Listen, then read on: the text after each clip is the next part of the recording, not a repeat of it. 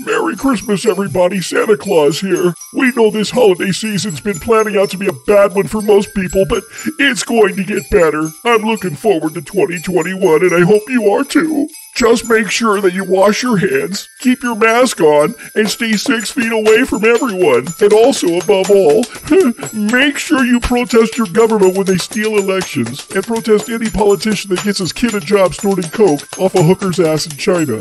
And forget the presents around the Christmas tree. Nobody's coming over, and you can't send presents over Zoom. Make sure you listen to the science, like Fauci says. Yeah, yeah, I, I, I may be wrong more than I'm right, but uh, the science crap's for boneheads. You know, I really wish I'd have got a job with my uncle killing people. It would have been easier. Stay safe, stay home, hit the liquor cabinet, and we'll tell you what to do next. Merry Christmas, everybody.